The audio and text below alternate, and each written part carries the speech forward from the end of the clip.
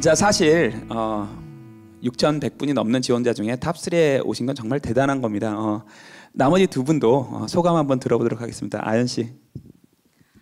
어, 일단 엘리베이터 앞이나 뭐 화장실을 갈 때나 이제 직원분들을 이렇게 뵙게 되는데 항상 응원하고 있다 이런 말씀을 해주셨는데 그럴 때마다 참 따뜻한 곳이다라는 생각을 많이 했었어요. 그래서 어, 물론 이제 일을 계속 하지는 못하지만 7주 동안 여기서 일했던 기억들이 앞으로 제 인생에서 많은 도움이 될 것 같다라는 생각이 들어요.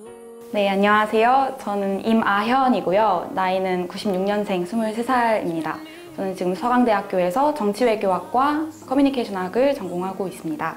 제 가능성에 대해서 좋게 평가를 해주시고 인턴으로 일할 수 있는 기회를 주셔서 너무 감사하게 생각을 하고요. 열심히 할게요. 화이팅!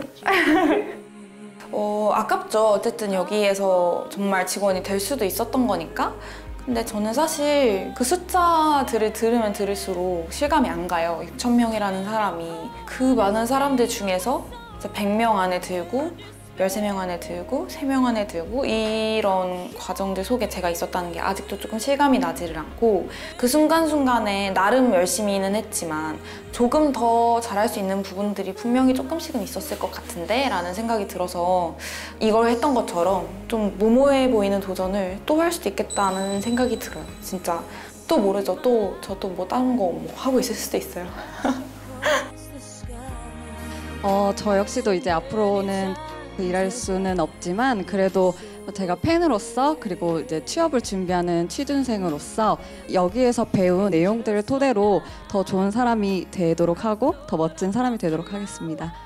성신여자대학교 운동자율복지학과에 다니고 있는 최지은이라고 하고요. 음, 하고 싶은 건 되게 많은 것 같아요. 해보고 싶은 것도 되게 많고 어, 생각해 막 상상했던 게 너무 많아서 뽑아만 주신다면 할 수 있습니다. 네, 할 수 있습니다. 다시 그때로 돌아간다고 해도 도전을 할 것 같아요. 지금 어, 물론 뭐 제가 정직원이 된 건 아니지만 그래도 그 6주, 7주간의 기간 동안 정말 많은 걸 얻었고 배웠고 제가 부족한 것도 많이 느꼈고 그 부족한 점을 어떻게 이제 해결할 것인가 뭐 이런 것도 생각도 많이 해보고 그래서 저한테는 진짜 좋은 경험이었고 되게 유익한 배움이었던 것 같아요. 자 어, 드디어 우리 최종 우승자 종원 씨 본인 소개가 정말 궁금합니다. 어, 네. 안녕하세요. 저는 글로벌 리더 학부라는 학부 그리고 경영학과 복수 전공한 28살이 된 정종원이라는 사람입니다.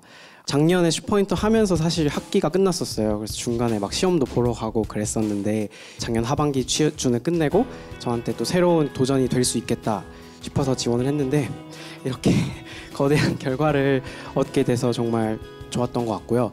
사실 뭐 1등을 하고 팀이 이기고 떨어지고 이런 것보다 어떤 부분에서 내가 잘해서 인정을 받고 또 어떤 부분이 부족하고 이런 걸 듣는 게 정말 좋았어요. 면접 때부터 어, 지금 오늘 마지막 컨텐츠 과제까지 그래서 어떻게 보면 되게 짧은 시간인데 제 인생에서 더 잊을 수 없는 그런 순간이 될 것 같습니다. 정말 작년 하반기 취업 준비를 본격적으로 뭔가 여름부터 하면서 자신감이 진짜 계속 떨어졌거든요. 현실의 벽에 부딪히는 거. 이 세상에 잘하는 사람 정말 너무 많고 운도 따라줘야 되고 그러면서 그런 탓을 자꾸 저뿐만 아니라 모든 취준생들이 본인한테 자꾸 돌린단 말이에요.